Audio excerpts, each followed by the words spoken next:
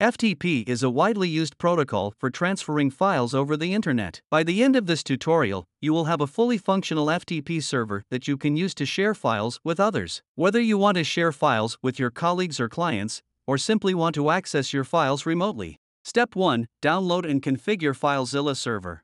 In this tutorial, we will download and configure a FileZilla server in a VPS. Go to the official website.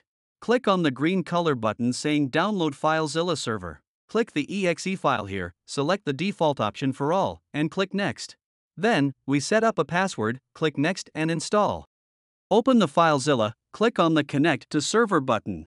Keep the default host and port, and input the password you set previously. Step 2 Enable the passive mode. The passive mode allows the server to determine which port is used for the data connection. The passive mode is the recommended mode for most instances. Click Server.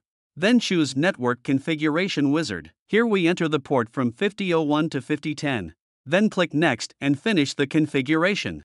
Step 3 Create FTP users. Select Configure, click User and Add. Input the password, virtual and native path. The native path is a local file path while the virtual path is the path that the FTP users will see, and it is mapped to the native path by FileZilla server. Finally, click OK. Step 4 Connect to the FTP server and transfer files. Before you connect, please open the 5001 to 5010 ports and the default FTP port 21 in your Windows VPS firewall. If you need assistance on this topic, look for our previous YouTube video on how to open a port in Windows Firewall. We also provide the link in the description below. Open the FileZilla client on your local machine, click File, and choose New Site. Here, we enter the host, which is the IP of the VPS where the FTP server is configured. The default port is 21, then enter the FTP user and password you created in step 3. Click Transfer Settings and select Passive. Finally, click Connect.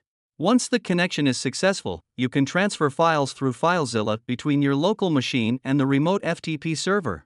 Congratulations, you have successfully set up an FTP server on your Windows Server 2019 using FileZilla. If you like our video, please give us a like and follow us for more exciting content. Don't forget to leave a comment.